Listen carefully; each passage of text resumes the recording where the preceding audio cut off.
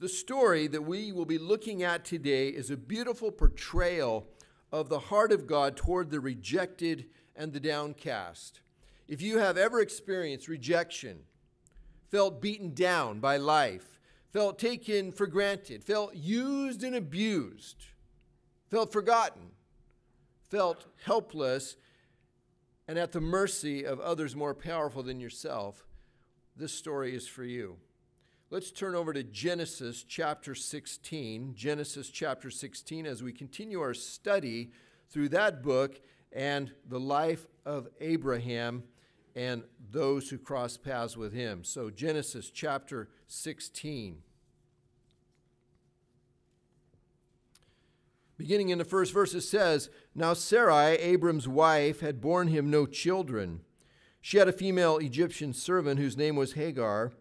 And Sarai said to Abram, Behold, now the Lord has prevented me from bearing children. Go in to my servant. It may be that I shall obtain children by her. And Abram listened to the voice of Sarai. Little background. The Lord made a promise to Abraham back in Genesis chapter 12, in the first three verses there, that he would make Abraham into this great nation of people with many descendants. There's been a small problem with the promise that the Lord made to Abraham, though. Abraham and the woman that he's married to, Sarah, have not had any children. No children, no descendants, no descendants, no great nation, no great nation, failed promise. Well, after several years, God and Abraham, they have another conversation on this same topic in Genesis chapter 15, the first six verses there, and we looked at that last time. Abraham asked the Lord if one of his descendants should be his heir, since he didn't have any children yet. And this sounded like a reasonable plan. It was not uncommon in that day for a trusted servant to be adopted to become one's heir when there were no children. The Lord, though, made it very clear to Abraham, telling him that a son coming from his own body would be his heir. Well, more time has passed, and still no children. And that brings us to where we are in Genesis chapter 16. Now, to make sure that you understand what Sarah is proposing that Abraham do here, I'm going to reread these first two verses from the New Living Translation. It says, Now Sarai, Abram's wife, had not been able to bear children for him, but she had an Egyptian servant named Hagar. So Sarai said to Abraham, The Lord has prevented me from having children. Go and sleep with my servant Perhaps I can have children through her.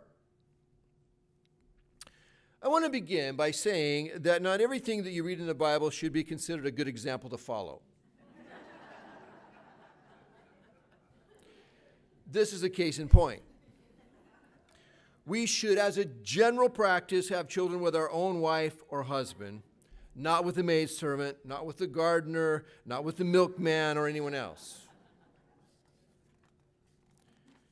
Now, believe it or not, this was actually an acceptable thing to do in that time and culture. Sarah is criticized by Bible readers for what she does here, but before we judge her too quickly, we should realize that her options are limited. Let's put ourselves in her shoes for a moment. They've been in Canaan 10 years now, and still they have no children. She and Abraham are both getting beyond the expected age for having children. Abraham is 85 years old, Sarah is 75 years old. Can I assume that most women here today would consider themselves beyond the age of having children at the age of 75? There was tremendous pressure in that culture for a woman to provide her husband with a son to carry on the family name. Added to that was the promise that God had made to Abraham that he would have many descendants. So now you, as Abraham's wife, the one who would, under normal circumstances, bear these children, have been unable to get pregnant. From your perspective, you would feel like you're the one that's been standing in the way of the fulfillment of the Lord's promise and plan for your husband Abraham. In your mind, it's your fault that things have not worked out the way they're supposed to. You feel like you have to come up with a way for this promise to be fulfilled for your husband's sake, regardless of the cost to you personally. I can imagine that Sarah has laid awake at night for weeks and months and perhaps even years, thinking through her options. And the only solution that she can come up with, short of a miracle from God, was to give her maidservant to her husband as a surrogate mother, second class wife, so that they can finally build a family. Well, as unbelievable as it might sound, the Lord actually wanted her and her husband Abraham to wait for the miracle. That happened to be God's plan for them. The Lord tells us in 2 Corinthians 12 9, My grace is sufficient for you, for my power is made perfect in weakness. The Lord's power is given an opportunity to shine in our life when we have encountered the limits of our own strength and intellect. Remind yourself the next time that you are in a situation beyond your strength and your intellect that it's an opportunity for the Lord's power to shine in your life. Sarah and Abraham are in a situation that's far beyond their own ability to overcome. And the Lord wants them to wait and trust in Him. That's not what they have chosen to do, though. It says at the end of verse 2 and Abram listened to the voice of Sarai. In other words, Abraham agrees to go along with the plan that Sarah has come up with, making him as guilty as she for the train wreck that is developing. Remember back in chapter 15, Abraham asked if the Lord had intended for him to adopt one of his servants, namely Eleazar, as his heir, and the Lord told him, No. A son coming from your own body will be your heir. Now, in chapter 16, Sarah suggests that they build a family through her maidservant Hagar. Well, this is really just a variation on the plan that Abraham had proposed a chapter earlier, isn't it? Should I adopt my servant? Should I use my servant? Now Sarah goes, Well, let's not use your servant, but let's use my servant. God made it clear to them that he intended for a son to come from their own bodies, from the two of them. And as crazy and as unbelievable and impossible as that seemed to be in this moment, that is exactly what he intends to do, and he's going to do. But they don't see how that's ever going to happen. So they decide to take things into their own hands and make something happen. Verse 3. So, after Abram had lived ten years in the land of Canaan, Sarai, Abram's wife, took Hagar the Egyptian, her servant, and gave her to Abram, her husband, as a wife. And he went into Hagar, and she conceived. So, right off the bat, Hagar conceives. She's pregnant. So it appears that the problem on a biological side appears to have been Sarah rather than Abraham. Noting that, helps us to understand the difference between Sarah's and Abraham's reaction to this whole situation. See, Sarah, she's understandably upset on a whole variety of levels, which we'll talk about more in a moment. Abraham, on the other hand, well, you know, is feeling pretty good about how things are working out. I mean, he now has two women to enjoy as wives, and he is getting the child that he's always hoped for. Life is good for Abraham. I mean, this is a great plan, Sarah, that you came up with. Good going, girl. Or is it? Look at the second half of verse 4. And when she, Hagar, saw that she had conceived, she looked with contempt on her mistress, Sarai. And Sarai said to Abram, May the wrong done to me be on you. I gave my servant to your embrace, and when she saw that she had conceived, she looked on me with contempt. May the Lord judge between you and me. oh, things are not so good after all. Now, as we put ourselves into the shoes of each of these three people, we can better understand why each of them reacts the way they do. Hagar, First off, it says that she looked with contempt on her mistress, or she began to despise her mistress, or to look down on her. See, Hagar has been the personal servant of Sarah's. Servants had no rights or privileges. She's accustomed to being told what to do and never asked her opinion about anything. I mean, she is a nobody. She's barely a human being. Hagar has suddenly been promoted now to the position of second class wife, surrogate mother, and now she's pregnant with her master's only child. I mean, she's achieved something that her mistress Sarah has not been able to do. It's understandable that she would be tempted to feel a little more important than her place allowed and begin to see Sarah as inferior to herself. Sarah is upset for a number of different reasons. She's mad at herself for having come up with this plan that's now backfiring on her in ways that she had not anticipated. And in typical human fashion, she is blaming others now for what has happened, moving her responsibility onto the shoulders of others. She's hurt and she's mad at Hagar, which is not entirely justified, but understandable.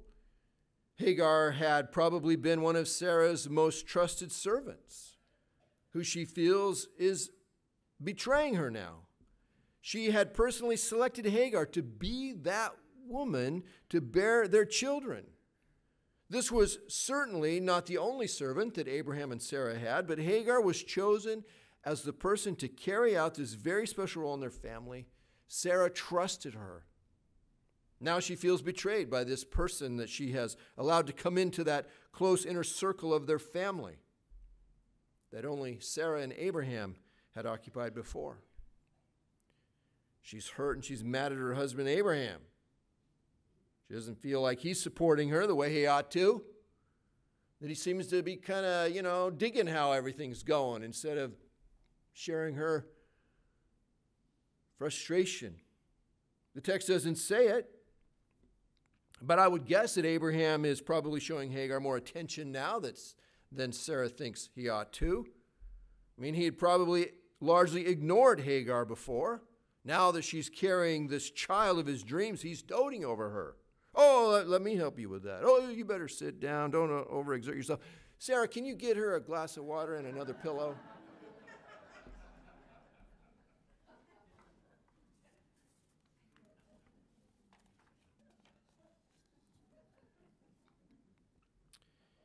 Sarah's not happy.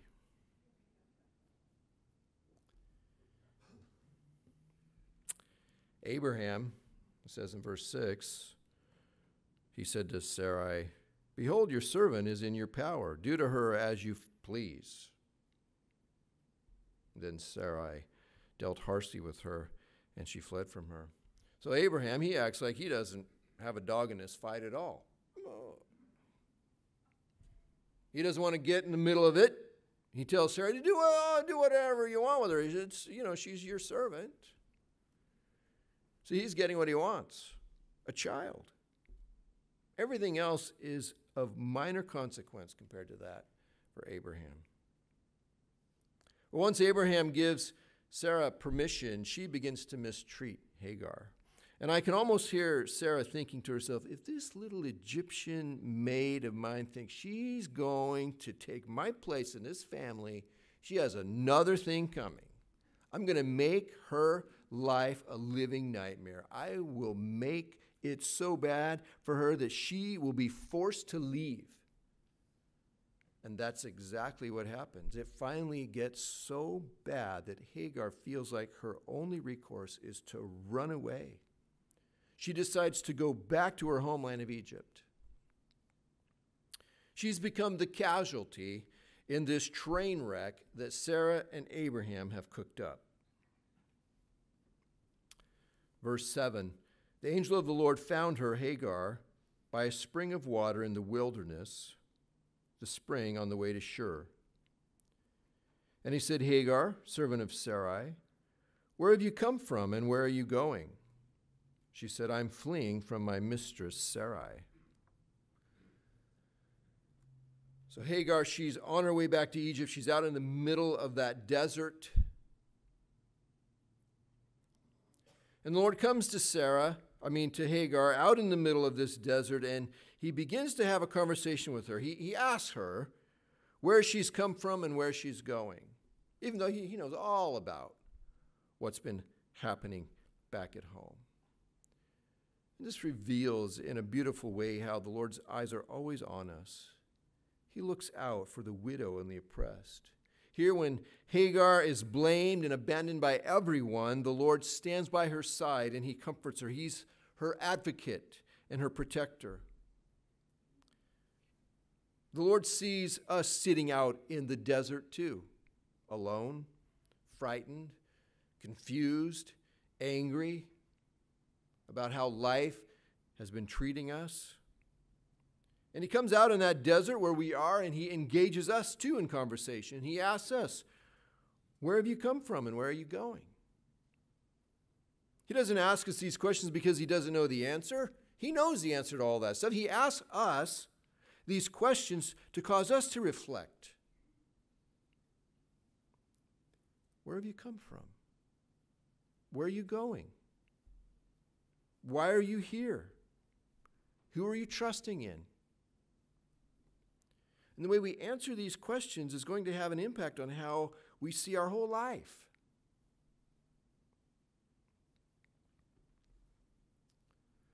The angel of the Lord said to her, Return to your mistress and submit to her. The angel of the Lord also said to her, I will surely multiply your offspring so that they cannot be numbered for multitude. So the Lord tells Hagar to return to your mistress and submit to her. Now, we don't expect that. We, we anticipate, especially in our modern way of seeing the world, we anticipate the Lord setting her free from Sarah to pursue a more self fulfilling and happy life. That's not what happens. The Lord doesn't release her from her obligations to Abraham and Sarah. She's part of that family, and the Lord wants her to go back to it. But she won't be going back alone, the Lord will be with her. In our lives, there are situations that we can find ourselves in that we want to run away from. We want the Lord to take us out of that awful place and set us free from it. But running from the situation is not what the Lord wants from us. He wants us to live a Christ honoring life in the midst of real life, no matter what kind of life that ends up being, with problems and circumstances that are very awful sometimes. You may be in the middle of a terrible situation that's pressing you beyond your limits. God may not take you out of that situation, but you won't be going through it alone. He'll be with you. The Lord does something else extraordinary and unexpected here, too. He blesses Hagar and he gives her a promise similar to the promise that he gave to Abraham. He tells her that she will have many descendants, too numerous to count. Hagar is one of the few people in the Bible who are honored with a promise on this scale. And who is she? Is she some kind of super saint? No. She's not even an Israelite.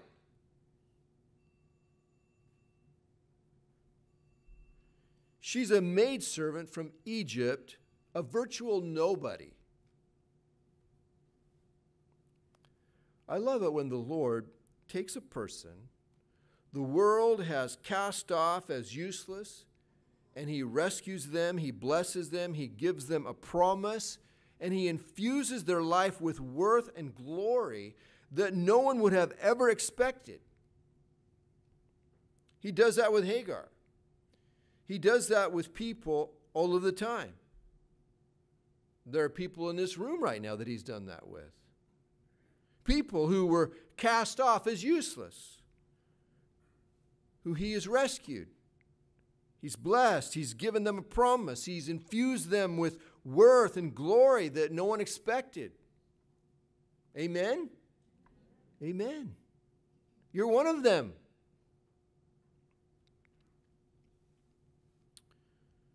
Verse 11 And the angel of the Lord said to her, Behold, you are pregnant and shall bear a son. You shall call his name Ishmael, because the Lord has listened to your affliction. He shall be a wild donkey of a man, his hand against everyone, and everyone's hand against him, and he shall dwell over against all his kinsmen. So she's told to name her son Ishmael. Ishmael means God hears. Think about that. Every time Hagar will call her son's name, she will be reminded of the truth that God hears, that He heard her, that God came to her aid, that He has blessed and honored her. When everyone else abandoned her, God came to her rescue. I think it's interesting to note that this name Ishmael, it, it has come over the centuries to mean outcast. For example, the famous opening words of the great American novel Moby Dick. They begin with, Call me Ishmael. But outcast is not what the name Ishmael meant when the Lord gave it to this child. It meant God hears. God hears. One of the most precious truths that we can imagine that the God who spoke this very universe into existence hears our cry. He cares about us. He comes to our rescue. God hears. Ishmael's future is spoken of here. It will not be an easy one. It says he'll be a stubborn man standing against the rest of the world. I wonder, is it a reflection of the kind of life that he will have living in this home. We'll see that they eventually get driven out of the family once more. Verse 13, it says, So she, Hagar, called the name of the Lord who spoke to her, You are a God of seeing. For she said, Truly, here I have seen him who looks after me. Therefore, the well was called Bir Lahai Roi. It lies between Kadesh and Bered. So Hagar, she gives a name to the Lord. You are a God of seeing, or you are the God who sees me. It can be translated either way. People give names to other people, to animals, to places, to things, rarely to God. But she gives God a name. And what makes this even more interesting is that the Lord accepts the name that she gives him. He says, Oh, don't call me that. My name is Yahweh, or my name, you know. What a great name it is, too, isn't it? You're a God of seeing. You are the God who sees me. She said, Truly, here I've seen him who looks after me. Reminds me of something Jesus said in Matthew 10 29. He said, Are not two sparrows sold for a penny? And not one of them will fall to the ground apart from your Father. But even the hairs of your head are all numbered. Fear not, therefore. You are of more value than many sparrows. There's that old song His eye is on the sparrow, and His eye is on you. He watches over us. Hagar, this little sparrow, he comes and he rescues her.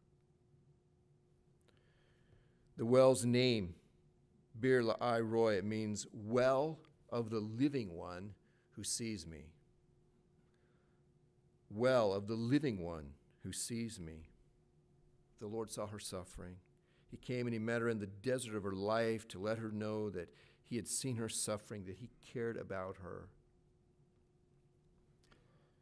15. And Hagar bore Abram a son, and Abram called the name of his son, whom Hagar bore him Ishmael.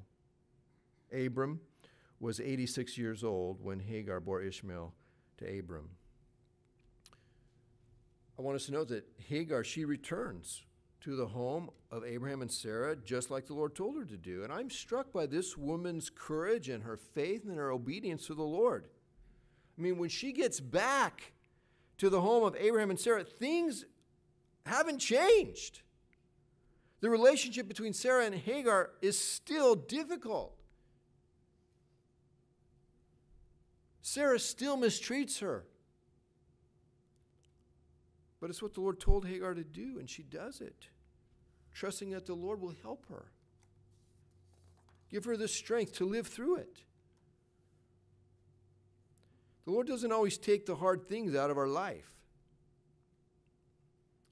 He wants to live a faithful life, trusting Him, walking with Him, whether there are hard things in our life or not.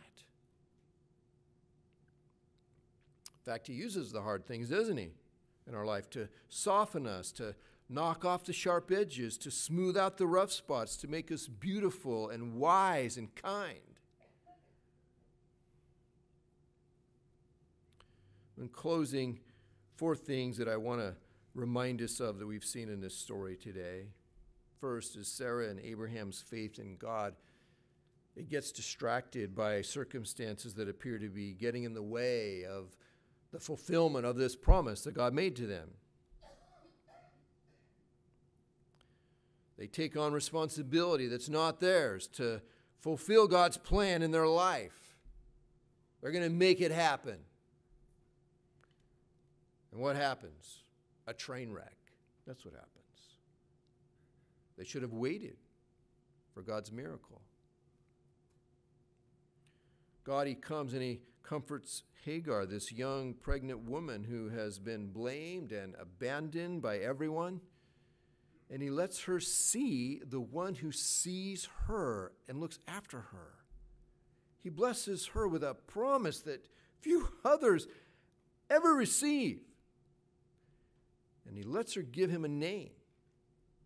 You're the God who sees me. The Lord's the one who sees you too. He cares for us, He loves us, He knows about our suffering and our pain. We are never alone and beyond His caring, watchful eye. Hagar's courage and faith and obedience to the Lord, returning to the home of Abraham and Sarah, even in the face of more bad stuff waiting for her there. She's an example for us, isn't she, of trusting the Lord even in the middle of hard things. Finally, even though it looks like Sarah and Abraham have made a complete mess of God's plan for them, his plan will still be fulfilled in spite of their failed efforts. He's going to give them a son of their own. It frustrates me sometimes when, when I hear people say, oh, well, you know, God has his perfect plan, and then you made this decision, and now his plan is some second best thing for you. It, God is bigger than that. It doesn't work like that. His sovereignty overcomes all of that stuff. God's bigger than you and me.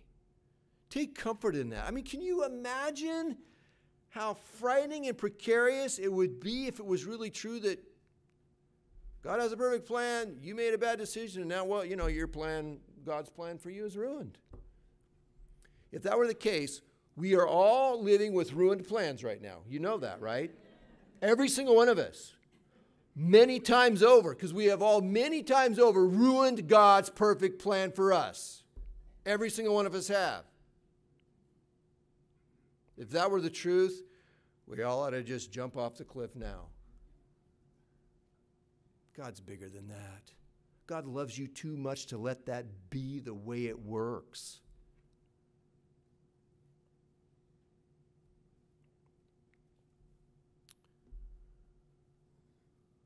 God is still going to fulfill his promise to Abraham and Sarah. He's going to give them a son, just like he said he would.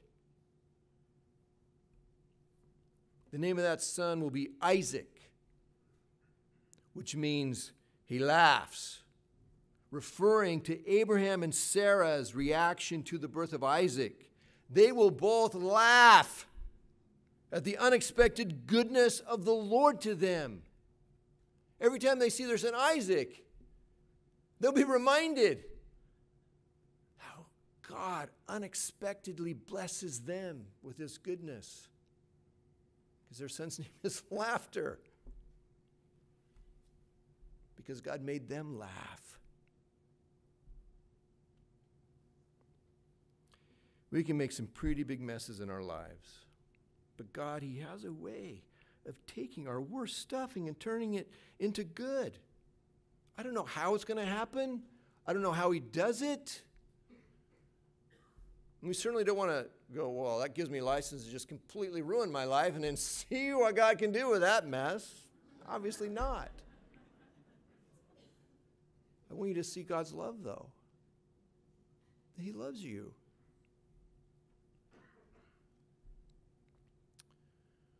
The ultimate solution to our mess is Jesus, isn't it?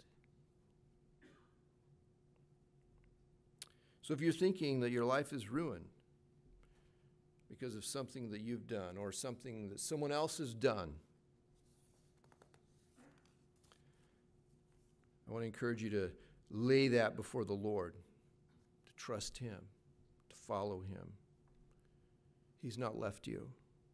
Your life is not ruined. Your life is not ruined. He's the God who sees you. And He can turn your tears of discouragement and regret and disappointment into belly laughs of joy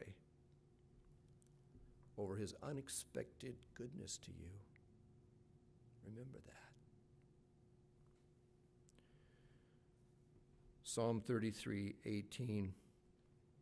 Psalmist wrote, Behold, the eye of the Lord is on those who fear him, who hope in his steadfast love, that he may deliver their soul from death and keep them alive in famine. Our soul waits for the Lord. He is our help and our shield, for our heart is glad in him, because we trust in his holy name. Let your steadfast love, O Lord, be upon us even as we hope in you. And indeed, He is the one we hope in, not in our own amazingly pathetic performance. Amen. Let's bow our heads for prayer. Father, I want to thank you for the story of Abraham and Sarah and Hagar. I mean, what great reminders are in this story for us of how good you are.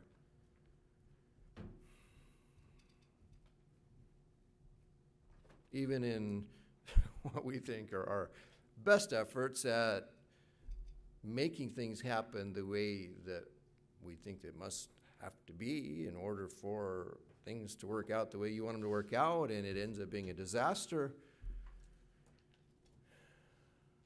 You continue to love us.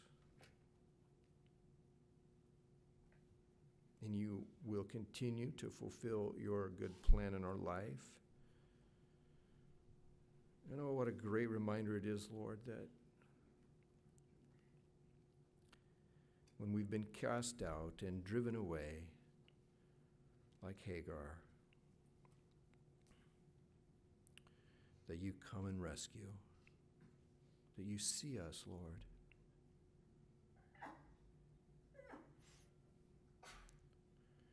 Your eye is on the sparrow, and your eye is on us. Encourage your people this morning with that precious truth. In Jesus' name, amen.